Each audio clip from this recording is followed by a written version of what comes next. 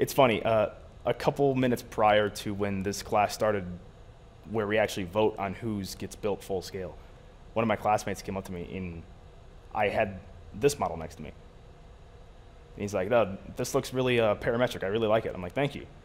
He's like, it looks like an armadillo. I'm like, what? It's like, yeah, like the shell of like an armadillo. It looks like it like bends down like that. He walks away afterwards, and I'm just like, what a weird comment that was.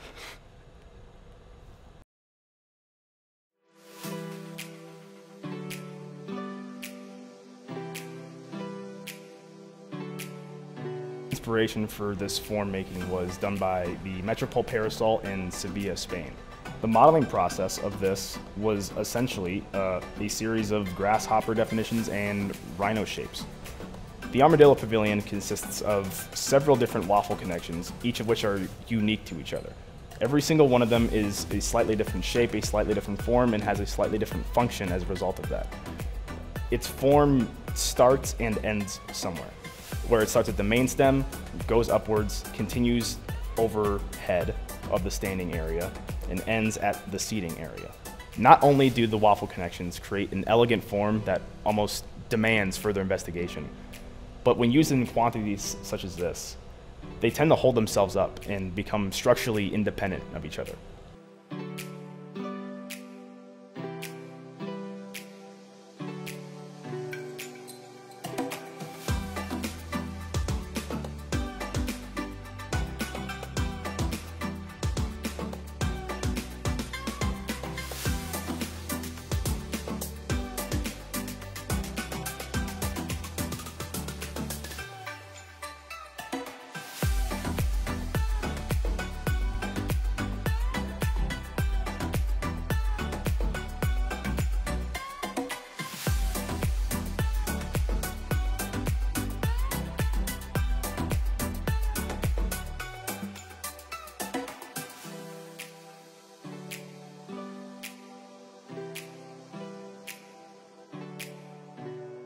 The main longitudinal stem needed to be placed first, along with the main perpendicular st stem piece to that.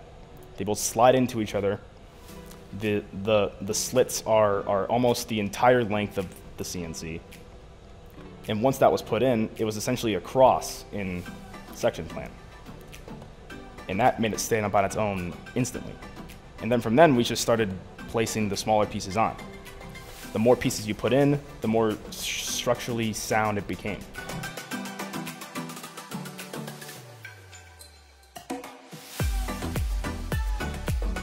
Most of the time was just spent sanding and chiseling the inside connections of the waffles so then they can actually fit into each other.